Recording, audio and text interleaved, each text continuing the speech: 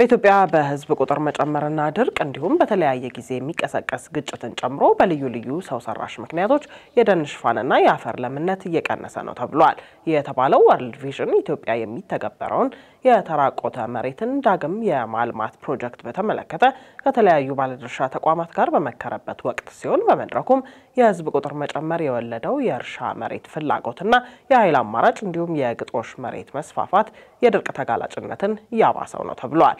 ይህንኑ መነሻ በማድረግም ወርልድ ቪዥን ኢትዮጵያ ለመሬት መራቆት ተጋላጭ በሆኑ ሰባት ክልሎች አርሶ አደሩ ከዚህ ቀደም ሲጠቀም የነበረውን የአካባቢ ጥበቃ ዘዴ በተለያዩ ስልጠናዎችና ድጋፎች በማጎልበት የተራቆተ መሬትን ዳግም የማልማት ስራ እየሰራው ነው ብሏል። ደስዬ ልባይ ተጨማሪ ያለው እንደ ወርልድ ቪዥን ኢትዮጵያ መረጃ በኢትዮጵያ ከፈረንጆቹ 1990 ጀምሮ እስከ 2020 ባለው ጊዜ ውስጥ ከ2.1 ሚሊዮን ሄክታር በላይ የደን ሽፋን ተመንጥሯል። በተጨማሪም አሁን ላይ 50 በመቶ ያህሉ የእርሻ መሬት የአፈር ለምነት ችግር እየገጠመው እንደሚገኝና ከሀገሪቱ አጠቃላይ መሬት ውስጥ 75 በመቶ ያህሉ የአየር ንብረት ለውጥ ስጋት እንዳለበትም የተቋሙ መረጃዎች ይጠቁማሉ። በአጠቃላይ በኢትዮጵያ ከ50 ሚሊዮን ሄክታር በላይ መሬት የመራቆት ችግር እንዳለበትና ይህም በአስቸኳይ እልባት ካልተሰጠው የድርቅ ተጋላጭነትን ሊያባብስ እንደሚችል ነው ወርልድ ቪዥን ኢትዮጵያ የሚገልጸው። በተለይም ከህዝብ ቁጥር መጨመር እንዲሁም እንደ ግጭት ባሉና በተለያየ ጊዜ በሚከሰቱ ሰው ሰራሽ ችግሮች ሳቢያ በየዓመቱ የሚመናመነው የተፈጥሮ ሀብት ህይወታቸውን በግብርና ላይ መሰረት ባደረጉ የህብረተሰብ ክፍሎች ላይ ጫና ከመፍጠር ባሻገር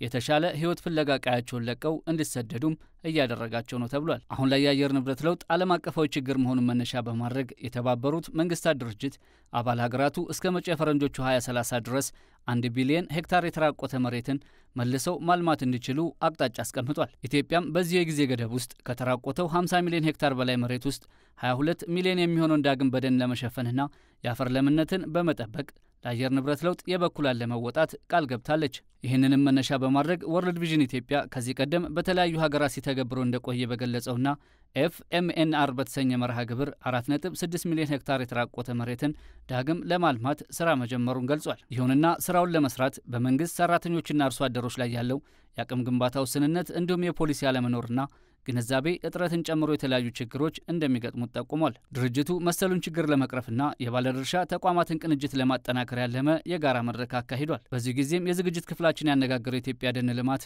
በወርልድ ቪዥን ኢትዮጵያ የሚተገበረው ፕሮጀክት የአረንጓዴ አሻራ መርሃ ግብርን ጨምሮ ኢትዮጵያ የተፈራረመቻቸውን ዓለም አቀፍ ስምምነቶች ለመተግበር የሚረዳ ነው ብሏል። አርሶ አደሩን መጥቀም እንደ ሀገርም ደግሞ እንደ ዓለምም የገባነው commitment አለ። ለምሳሌ ቅድም ብያለሁኝ እንደ ሀገር 22 ሚሊዮን ሄክታር በ2030 restore እናደርጋለን ብለን pledge አድርገናል። ስለዚህ ይህንን 22 ሚሊዮን አንዱ ሊያሳካልን ከሚችለው activity ይሄ ነው። ከ WRI ጋር ያጠናው ጥናት አለ። 54 ሚሊዮን ሄክታር የተጎዳ መሬት አለን ብለን map አድርገናል። ከዛ ውስጥ ወደ 11 ሚሊዮን አካባቢ የሚሆነው severe የሆነ degrade የሆነ land ነው። immediate action የሚያስፈልገው restore መሆን ያለበት ቦታ ነው።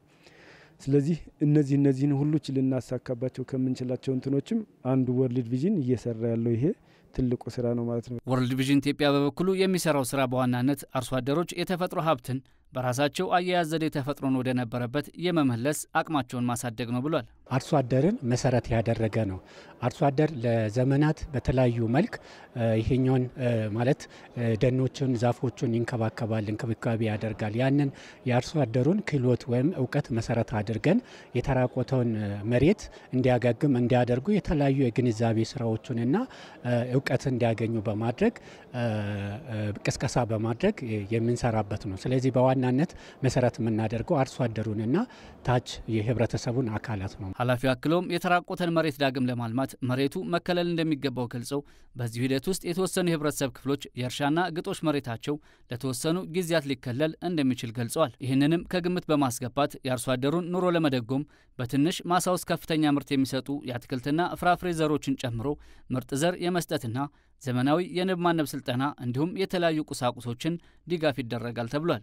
ፕሮጀክቱ በመጪዎቹ አስር ዓመታት በአማራ፣ ኦሮሚያ፣ አፋርና ደቡብ ምዕራብ ኢትዮጵያ ክልልን ጨምሮ በሰባት ከፍተኛ የህዝብ ብዛትና የመሬት መራቆት ተጋላጭነት ባለባቸው ክልሎች ተግባራዊ እንደሚደረግ የተገለጸ ሲሆን በአጠቃላይ ከ50 ሺህ በላይ የሚሆኑ የህብረተሰብ ክፍሎችንም ተጠቃሚ እንደሚያደርግ ተመልክቷል። ይህ በእንዲህ እንዳለ ኢትዮጵያ ባለፉት ዓመታት እየተገበረችው ባለችው የአረንጓዴ አሻራ መርሃ ግብር አሁን ያለው የደን ሽፋን ከ23 በመቶ በላይ እንደደረሰና በፈረንጆቹ 2030 ይህንኑ አሀዝ ወደ 30 በመቶ ለማድረስ ውጥን መያዙን የግብርና ሚኒስቴር መረጃዎች ይጠቁማሉ።